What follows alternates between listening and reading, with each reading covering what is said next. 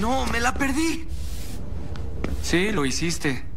¿Cómo lo siento, Harry? No, no fue...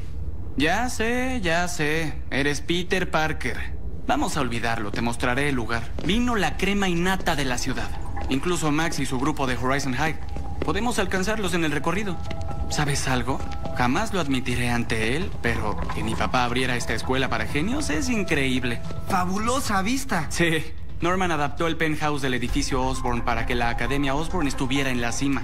Nos da algo a lo que aspirar. Wow, hay que aspirar muy alto. Y por eso nuestros estudiantes serán los mejores. Empezando con Harry, claro, que fue nombrado presidente de la clase, por cierto.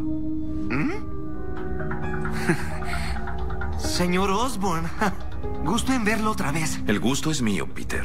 ¿Viniste a solicitar tu ingreso? Oh, gracias, señor Osborne. Pero acaban de aceptarme en Horizon High. Hmm. Esperemos que no te suspendan por algo que tú no hiciste. Ya. Descuide, señor. De seguro eso se aclarará muy pronto. Pero fue lindo que hiciera todo esto por Harry. Cuando se trata de mi hijo, soy capaz de mover montañas, por si no lo sabías. ¿No dañaría eso el equilibrio de la naturaleza? La ciencia es la mejora de la naturaleza, Max. Ya lo sabes. Me alegra verte otra vez. No nos lo perderíamos. Toda oportunidad de expandir las mentes de los estudiantes siempre es razón para celebrar. Me alegra que lo veas de ese modo. Pensé que te sentirías amenazado. Mm, claro que no. Es importante que las escuelas coexistan dentro de un ambiente de apoyo, sin mencionar que mi escuela está llena en su totalidad. Bueno, te aseguro que al final del día nuestra escuela también lo estará. Es más, presenciemos algunas audiciones, ¿sí? Es bueno ver que no solo llegas tarde a eventos de Horizon. Había mucho tránsito. Ya sabes lo que dicen. La distancia más corta entre dos puntos es el tren express. Oye, Pete, todavía no conoces a Gwen Stacy, ¿verdad? ¿Gwen Stacy? Sí, claro. Digo, aún no. Digo, soy Peter. Sé muy bien quién eres. ¿Lo sabes? Sí, Parker, ¿no? Salvaste a todos del incendio de Vibranio. Bien hecho. Gracias. Que no se te suba a la cabeza. Arruinaste todo mi proyecto, ¿recuerdas? Por aquí, amigos. Prefiero usar espejos de dos vistas para no intimidar a los entrevistados.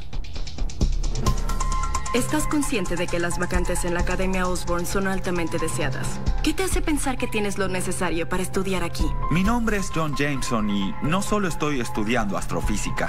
Hasta la fecha, la agencia espacial ya adoptó sin dudar dos de mis ideas y yo he adoptado su lema. El fracaso nunca es una Bueno, como el hijo del brillante Spencer Smythe, yo poseo los genes de la excelencia. Hey, ¿qué onda, hermano? Soy Flash Thompson y mis genes son del lujo. Porque soy súper lista. Por eso. ¿Qué no estudias ya en Horizon?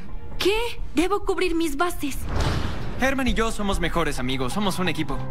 Lo que Clayton trata de decir es que como un compuesto químico, actuamos como catalizadores para concebir grandes ideas. Claro, de hecho, nos inspiramos mutuamente para crear esta tecnología. Llamé a la mía Sonic Tech porque puede manipular el sonido. Y yo he creado estos guantes que llamo de choque que me permiten controlar las vibraciones.